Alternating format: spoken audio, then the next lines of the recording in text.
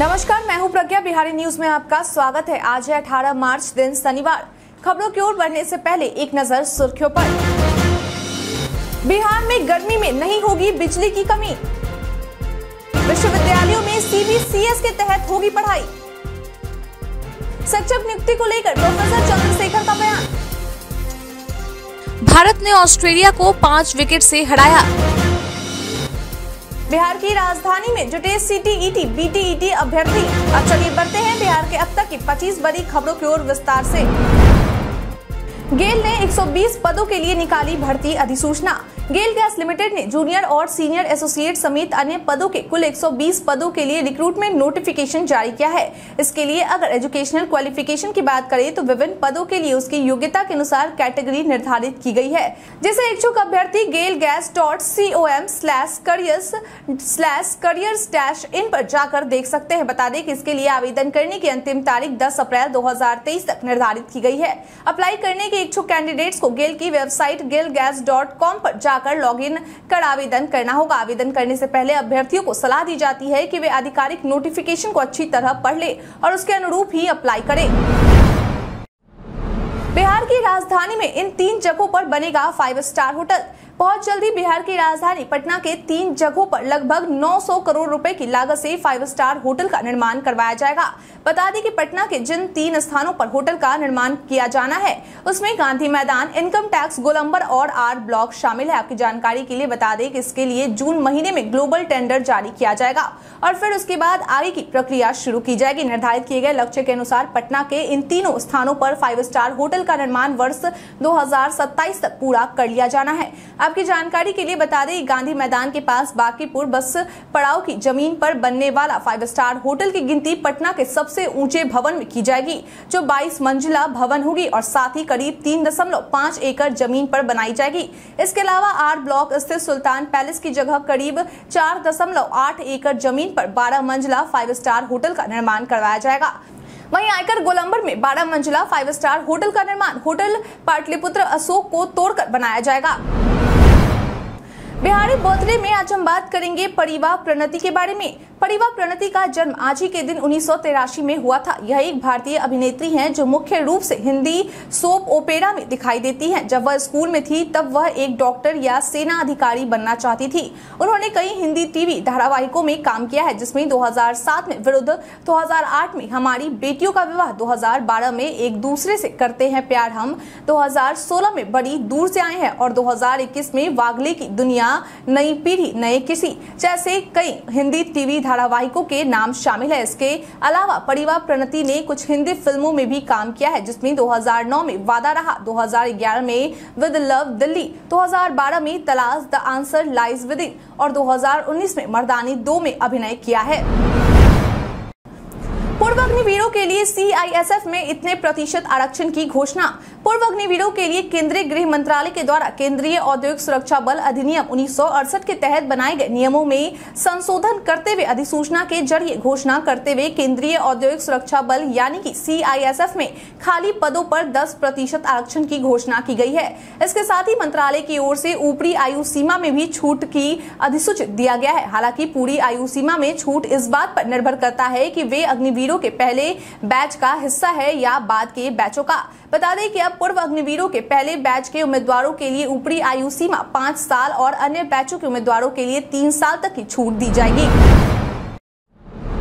बिहार की राजधानी में जुटे सीटीईटी बीटीईटी अभ्यर्थी सातवें चरण की शिक्षक बहाली की मांग को लेकर बीते दिन बिहार की राजधानी पटना के सड़कों पर अलग अलग जिलों से आए हज़ारों की तादाद में प्रारंभिक शिक्षक अभ्यर्थी नज़र आए। बता दें कि इस दौरान सभी शिक्षक अभ्यर्थी बुद्धा स्मृति पार्क से होते हुए डाक बंगला पहुँचे, जहाँ से वह विधानसभा जाने की कोशिश कर रहे थे। लेकिन उसी दौरान पुलिस के द्वारा सभी आंदोलनकारियों को खदेड़ दिया गया। इसके साथ ही पुलिस के द्वारा डाक बंगला से इनकम टैक्स जाने के रास्ते को भी ब्लॉक कर दिया गया था। मालूम हो कि शिक्षक अभ्यर्थियों का यह आंदोलन गांधी मैदान के गेट नंबर एक से शुरू होकर विधानसभा के लिए जाने वाला था, लेकिन ऐसा नहीं हो सका। बता दें कि इस दौरान शिक्षक अभ्यर्थियों के द्वारा डाक बंगला चौराहा को तीन घंटे तक घेरे रखा गया, जिसके बाद भीड़ को तितर बितर करने के लिए पुलिस की ओर से लाठियाँ चलाई गई, जिसमें कई शिक्षक अभ्यर्थियों को चोटें भी आई है। बिहार दिवस के मौके पर देश के जाने माने आवाज़ के साथ बंधेगा समा बिहार की राजधानी पटना में स्थित एसके मेमोरियल हॉल में बिहार दिवस के मौके पर तीन दिवसीय कार्यक्रम आयोजित किया जा रहा है, जिसमें देश के जाने माने गज़ल गायक और संगीतज्ञ तलत अज़ीज़ और प्रतिभाशाली कलाकार मैथिली ठाकुर समेत कई कलाकारों की आवाज़ें सुनने को मिलेंगी। बता दें कि इस तीन दिवसीय कार्यक्रम के पहले दिन, यानी कि 22 मार्च को गायक जावेद अली और आईपीएस अफसर आलोक राज के द्वारा अपनी प्रस्तुति दी जाएगी। वहीं कार्यक्रम के तीसरे दिन, यानी कि 24 मार्च को इंडियन आइडल विजेता सलमान अली और दीपाली सहायक के द्वारा अपनी प्रस्तुति दी जाएगी। आपकी जानकारी के लिए बता दें कि इस बार के बिहार दिवस के मौके पर प्रत्येक जिला मुख्यालय, निजी एवं सरकारी स्कूलों समेत कई जगह कार्यक्रम आयोजित करने की तैयारी चल रही है। मालूम हो कि इस वर्ष बिहार दिवस का विषय युवा शक्ति बिहार की प्रगति रखा गया है।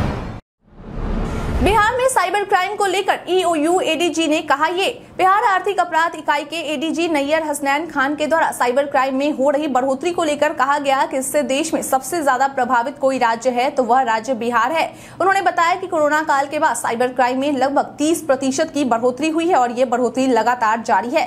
कोरोना काल के बाद अब तक इस मामले से जुड़े बाईस हज़ार शिकायतें आ चुकी है। उन्होंने कहा की आर्थिक अपराध इकाई बिहार सरकार की नोडल एजेंसी है। इसे हैंडल करने के लिए हमारा साइबर क्राइम पूरी पूरी तरह से तैयार है। उन्होंने बताया कि इस चुनौती पर हमारे द्वारा काफ़ी काम किया गया है और इस मुद्दे पर हमारा तीन तरह का रोल रहा है। हम लोग लगातार लोगों को जागरूक करने और पुलिस अधिकारियों को ट्रेनिंग देने में लगे हुए हैं। बिहार के पाँच प्रखंडों में बनेंगे स्टेडियम।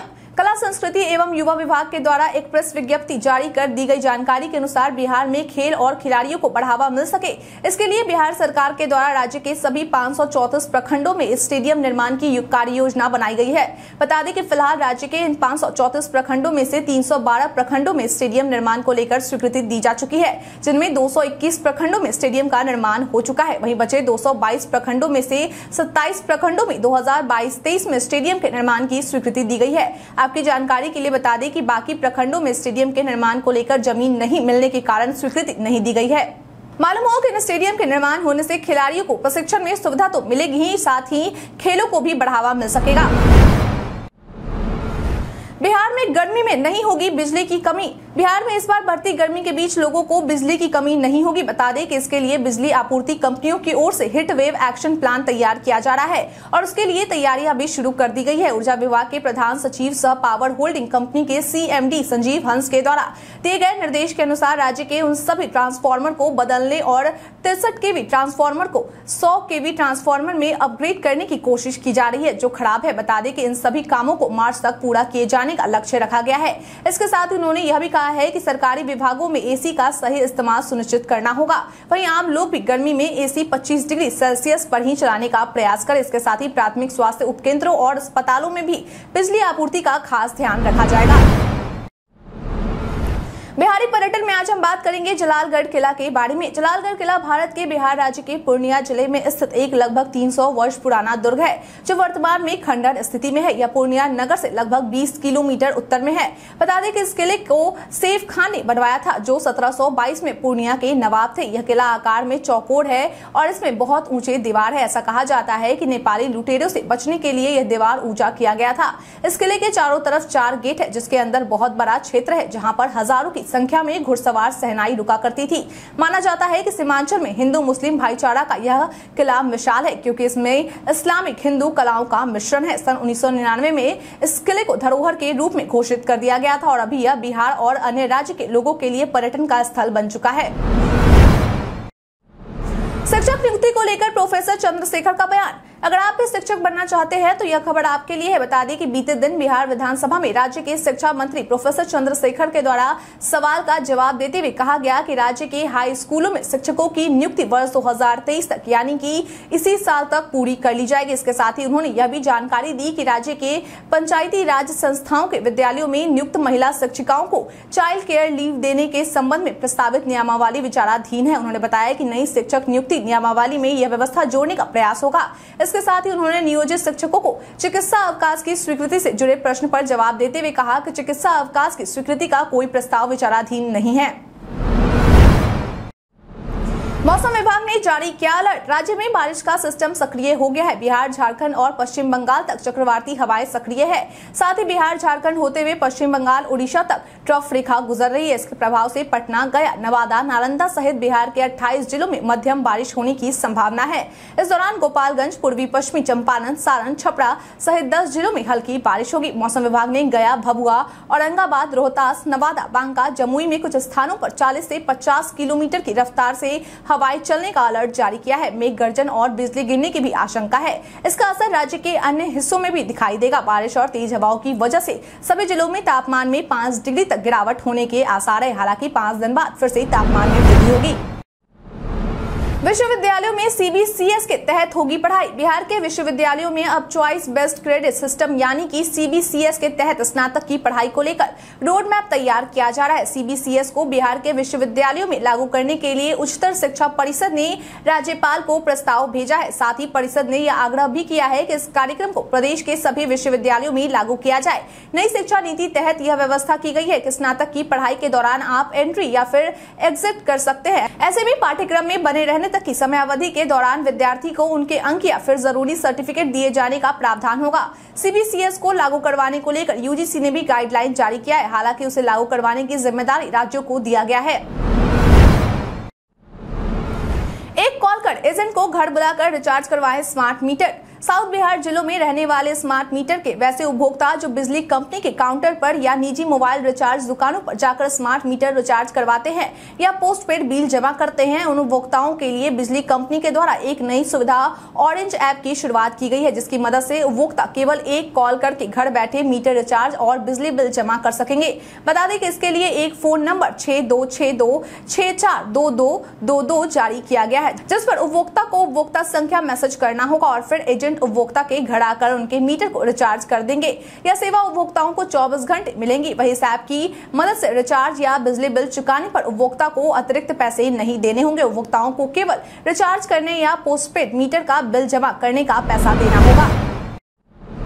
राज्य सरकार से बिना एनओसी वाले स्कूलों का टीसी नहीं होगा माने शिक्षा विभाग की ओर से राज्य सरकार से बिना एनओसी वाले स्कूलों को लेकर दिशा निर्देश जारी करते हुए कहा गया है कि ऐसे स्कूलों का ट्रांसफ़र सर्टिफिकेट, यानी कि टीसी का कोई मान्य नहीं होगा। यानी कि इन स्कूलों के टीसी पर छात्र दूसरे स्कूलों में एडमिशन नहीं ले सकते हैं। बता दें कि इस दिशा निर्देश की कॉपी विभाग के द्वारा सभी जिला शिक्षा कार्यालय को भेज दी गई है। मालूम हो कि राज्य में ऐसे स्कूल पंद्रह हज़ार है, जिसमें लगभग तीन लाख बच्चे पढ़ते हैं। बता दें कि इन स्कूलों के पास न तो शिक्षा विभाग से एनओसी लिया है और न ही यू डायस से निबंधन करवाया है और इसके साथ ही न ही ई संबंधन पोर्टल से निबंधित है। आपकी जानकारी के लिए बता दें कि अगर कोई स्कूल राज्य सरकार के इन नियमों का पालन करती है तो उसे नियम के अनुसार 25 फ़ीसदी गरीब बच्चों का एडमिशन लेना पड़ता है। इन्हीं चीज़ों से बचने के लिए स्कूलों के द्वारा सरकार के इन नियमों का पालन नहीं किया जाता। नालंदा में शराब के खिलाफ अभियान। एक तरफ़ जहाँ बिहार में शराब तस्कर बाज नहीं आ रहे तो वहीं दूसरी ओर पुलिस और उत्पाद विभाग की टीम के द्वारा भी इन तस्करों पर नकेल कसने की जी तोड़ कोशिश की जा रही है। बता दें कि इसी कोशिश के तहत उत्पाद विभाग की टीम के दौरान नालंदा ज़िले के करीब बत्तीस जगहों पर तस्करों के खिलाफ छापेमारी का महाअभियान चलाया गया। इस दौरान उत्पाद विभाग की टीम के द्वारा कुल बारह धंधेबाजों और तेईस नशेरी को अपनी गिरफ्त में लिया गया है। उत्पाद के इंस्पेक्टर राम नरेश महतो के द्वारा दी गई जानकारी के अनुसार छापेमारी के दौरान तीस लीटर चुलाई शराब और 3000 किलोग्राम अवैध किन्वित जावा महुआ को विनष्ट किया गया है। के लिए सरकारी योजना का फ़ायदा लेने का नियम बदला। अगर आपके परिवार में भी कोई दिव्यांग सदस्य है तो आपको इस बात की जानकारी होनी चाहिए कि सरकार की ओर से दिव्यांगों के लिए भी योजनाएँ चलाई जाती है, जिसका फ़ायदा दिव्यांग व्यक्ति ले सकते हैं। बता दें कि अब तक दिव्यांग व्यक्तियों के लिए कुल सत्रह सरकारी योजनाएँ चलाई जाती है, लेकिन अब दिव्यांगों को दी जाने वाले योजनाओं को लेकर सरकार की तरफ़ से एक बड़ा अपडेट जारी किया गया है, जिसके तहत अगर कोई दिव्यांग व्यक्ति सरकार के द्वारा चलाई गई इस योजना का फ़ायदा लेना चाहता है तो उन्हें एक अप्रैल दो से ज़रूरी रूप से केंद्र सरकार द्वारा जारी दिव्यांग जनों के लिए विशिष्ट पहचान पत्र संख्या का उल्लेख करना होगा। सरकार की तरफ़ से कहा गया है कि जिन दिव्यांगों के पास यूडीआईडी कार्ड नहीं है, उन्हें दिव्यांगता प्रमाण पत्र के साथ यूडीआईडी नामांकन संख्या प्रदान करनी होगी। बिहार के राज्यपाल का दो दिवसीय पूर्णिया दौरा शुरू।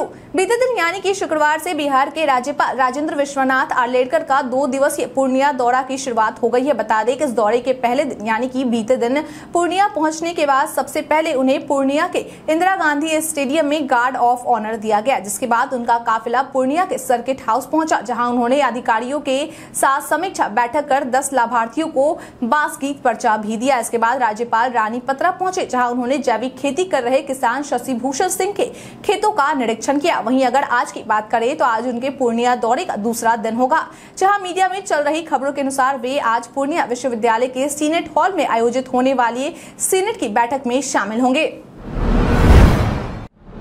लोकसभा चुनाव में इन सीटों पर है वीआईपी की नज़र। बीते दिन मुजफ्फरपुर में बिहार के पूर्व मंत्री और विकासशील इंसान पार्टी के प्रमुख मुकेश सहनी के द्वारा बताया गया कि लोकसभा चुनाव के दौरान उनकी पार्टी की नज़र किन किन राज्यों के लोकसभा सीटों पर बनी हुई है। उन्होंने बताया कि वे बिहार की सभी 40 लोकसभा सीटों के साथ साथ यूपी और झारखंड की भी सभी लोकसभा सीटों पर चुनाव लड़ने की तैयारी कर रहे हैं। मुकेश सहनी का कहना है की वीआईपी लोकसभा चुनाव दो हज़ार चौबीस में बिल्कुल मजबूती के साथ उतरेगी। वही इन सभी बातों के साथ उन्होंने यह भी बताया की वे किसी अन्य पार्टी के साथ गठबंधन कर। करेंगे या नहीं? उन्होंने कहा कि अभी तक तय नहीं किया गया है कि उनकी पार्टी किस गठबंधन के साथ जाएगी। भारत ने ऑस्ट्रेलिया को पाँच विकेट से हराया। बीते दिन भारत और ऑस्ट्रेलिया के बीच वनडे सीरीज़ का पहला मुकाबला मुंबई के वानखेड़े स्टेडियम में खेला गया। बता दें कि भारत ने ऑस्ट्रेलिया को पाँच विकेट से हरा दिया है। टॉस हारकर पहले बल्लेबाजी करते हुए ऑस्ट्रेलियाई टीम पैंतीस दशमलव चार ओवर में एक सौ अट्ठासी रन पर सिमट गई थी। कंगारुओं के लिए मिचल मार्स ने सबसे ज़्यादा इक्यासी रन की पारी खेली थी। जवाब में भारत ने उनचालीस दशमलव पाँच ओवर में पाँच विकेट गवाकर लक्ष्य हासिल कर लिया। के राहुल ने लय में वापसी की और बेहतरीन बल्लेबाजी करते हुए इक्यानवे गेंदों में पचहत्तर रन की नाबाद पारी खेली। उनके अलावा रविंद्र जडेजा भी पैतालीस रन बनाकर नाबाद रहे। दोनों के बीच छठे विकेट के लिए 108 रन की नाबाद साझेदारी हुई। इस जीत के साथ भारत ने ऑस्ट्रेलिया ऑस्ट्रेलिया पर तीन मैचों की वनडे सीरीज़ में एक शून्य की बढ़त हासिल कर ली है। तीन महीने के अंदर कराएँ आधार अपडेट, नहीं तो देनी होगी फ़ीस। आम आदमी की पहचान यानी कि आधार कार्ड को लेकर सरकार की ओर से एक नया आदेश जारी किया गया है, जिसके अनुसार अगर आपने अपना आधार कार्ड 14 जून से पहले अपडेट नहीं करवाया तो आपको फ़ीस देनी पड़ सकती है। दरअसल यू के द्वारा आधिकारिक बयान जारी कर यह कहा गया है कि आप सभी 14 जून तक मुफ़्त में अपने आधार कार्ड को अपडेट करवा सकते हैं। लेकिन आपको बता दें कि यह सुविधा आपको केवल ऑनलाइन अपडेट करवाने पर ही मिलेगी, ऐसे में आप इसका फ़ायदा उठा सकते हैं। हालाँकि अगर आप फ़िज़िकल काउंटर पर जाते हैं तो आपको इस काम के लिए पैसे चुकाने होंगे। लेकिन ऑनलाइन के लिए भी यह सुविधा केवल 14 जून 2023 तक ही उपलब्ध रहेगी। भारत के इतिहास में आज की तारीख है बेहद खास। अनिवार्य और मुफ़्त प्राथमिक शिक्षा प्रावधान के लिए गोपाल कृष्ण गोखले ने सन 1910 में ब्रिटिश विधान परिषद के सामने अपना प्रस्ताव रखा था। ब्रितानी अदालत ने सविनय अवज्ञा आंदोलन के बाद सन 1922 में राजद्रोह मामले में महात्मा गांधी को छह साल की सजा सुनाई थी। नेताजी सुभाष चंद्र बोस की आज़ाद हिंद फौज ने सन उन्नीस सौ चौवालिस में बर्मा की सीमा पार की। संयुक्त राष्ट्र ने दो हज़ार छः में मानवाधिकार परिषद के गठन का प्रस्ताव मंजूर किया। उन्नीस सौ चौदह में अंतर्राष्ट्रीय न्यायालय के पूर्व पूर्व अध्यक्ष एवं भारत के पूर्व मुख्य चुनाव आयुक्त रह चुके नागेंद्र सिंह का जन्म हुआ। उन्नीस 1914 में आज़ाद हिंद फौज के अधिकारी गुरबख्श सिंह ढिल्लो का जन्म हुआ। उन्नीस सौ अड़तीस में हिंदी सिनेमा जगत के प्रसिद्ध अभिनेताओं में से एक शशि कपूर का जन्म हुआ। हिंदी सिनेमा की जानी मानी गायिका राजकुमारी दुबे का 2000 में निधन हुआ। प्रसिद्ध मराठी विद्वान नारायण शास्त्री मराठी का उन्नीस सौ छप्पन में निधन हुआ। वायरल खबर में आज हम बात करेंगे पीएम मुफ़्त लैपटॉप योजना के बारे में। सोशल मीडिया पर कई सूचनाएँ वायरल होती है, लेकिन सभी सच हो, ये ज़रूरी नहीं है। इसी कड़ी में आज हम बात करेंगे पीएम मुफ़्त लैपटॉप योजना के बारे में। दरअसल पीआईबी ने अपने ट्वीट में लिखा है कि सोशल मीडिया पर एक नोटिस प्रसारित हो रहा है, जिसमें दावा किया जा रहा है की भारत सरकार प्रधानमंत्री मुफ़्त लैपटॉप योजना दो हज़ार तेईस के तहत युवाओं को मुफ़्त लैपटॉप दे रही है। पीआईबी ने अपने ट्वीट में आगे लिखा है की नोटिस फेक है। भारत सरकार at the rate edumin of India के द्वारा ऐसी कोई योजना नहीं चलाई जा रही है। व्हाट्सएप यूज़र्स को जल्द मिलेगा संदेशों को एडिट करने का feature social media platform WhatsApp कथित तौर पर अभी भी एक फीचर पर काम कर रहा है। यह फीचर यूज़र्स को आईओएस बीटा पर संदेशों को एडिट करने की अनुमति देगा। डब्ल्यू बीटा इन्फो की रिपोर्ट के अनुसार नया फीचर यूज़र्स को किसी भी गलती को ठीक करने या मूल संदेश में कोई अतिरिक्त जानकारी शामिल करने के लिए अपने संदेशों को एडिट करने के लिए 15 मिनट तक का वक्त देगा। इस फीचर पर फ़िलहाल काम चल रहा है और बीटा टेस्टर के लिए जारी करने के लिए तैयार नहीं है। रिपोर्ट में आगे उल्लेख किया गया है की कंपनी एप्लीकेशन के भविष्य के अपडेट में एक फीचर भी ला सकती सकती है, जो यूज़र्स को मीडिया कैप्शन एडिट करने की अनुमति देगा। इस एक्सप्रेस में होता है मरीजों का फ्री इलाज। गरीब और दूर दराज के मरीजों को अच्छा इलाज मिल सके, इसके लिए इंडियन रेलवे, केंद्रीय स्वास्थ्य मंत्रालय और इम्पैक्ट इंडिया फाउंडेशन की मदद से एक लाइफलाइन एक्सप्रेस ट्रेन की शुरुआत की गई है। बता दें कि इस ट्रेन की खास बात यह है कि इसमें इलाज की सुविधा तो मौजूद होगी साथ ही इस ट्रेन में ऑपरेशन की भी सुविधा उपलब्ध होगी। आपकी जानकारी के लिए बता दें कि इस ट्रेन में कुल सात डिब्बे हैं, जिसमें तीन ऑपरेशन थिएटर है। इसके अलावा इस ट्रेन में मरीजों के परिजनों की भी रुकने की भी व्यवस्था की गई है। मेरी जानकारी के अनुसार इस ट्रेन में आँख, कान पैड कटे फटे ओठ, दांत का इलाज, गर्दन और स्तन कैंसर का इलाज और ऑपरेशन भी होता है इस ट्रेन में। इलाज करने के लिए हर विभाग के विशेषज्ञ डॉक्टर भी मौजूद होंगे। मालूम हो कि स्ट्रेन ट्रेन में सभी इलाज बिल्कुल मुफ़्त में किया जाता है। बीते दिन हमारा पूछेगा सवाल का आप लोगों में से बहुत लोगों ने अपना जवाब हमें हमारे कमेंट सेक्शन बॉक्स में लिखकर दिया था। जिन्होंने हमारा पूछेगा सवाल का जवाब दिया। उनके नाम है रामनवी मांझी, विपिन लाल वर्मा एच के मल्होत्रा, रंजीत मिश्रा, शंकर मुखिया, श्वेता रॉय, अनवर करीम खान, बिट्टू कुमार राज, मृत्युंजय कुमार, राजेंद्र सिंह कुश कुमार यादव, उमेश ऋषिदेव उदय कुमार पासवान, विकास दास, मंटू कुमार। इसके साथ ही बढ़ते हैं आज के सवाल की ओर। आज का सवाल है, आपके क्षेत्र का मौसम कैसा है? अपना जवाब हमें हमारे कमेंट सेक्शन में लिखकर ज़रूर बताएँ। आज के लिए इतना ही। बिहार के तमाम खबरों के साथ बने रहने के लिए देखते रहे बिहारी न्यूज़ और साथ ही अगर आप यूट्यूब ऐसी देख रहे हैं, चैनल को सब्सक्राइब करना और अगर आप फेसबुक ऐसी देख रहे हैं तो पेज को फॉलो करना ना भूले। धन्यवाद।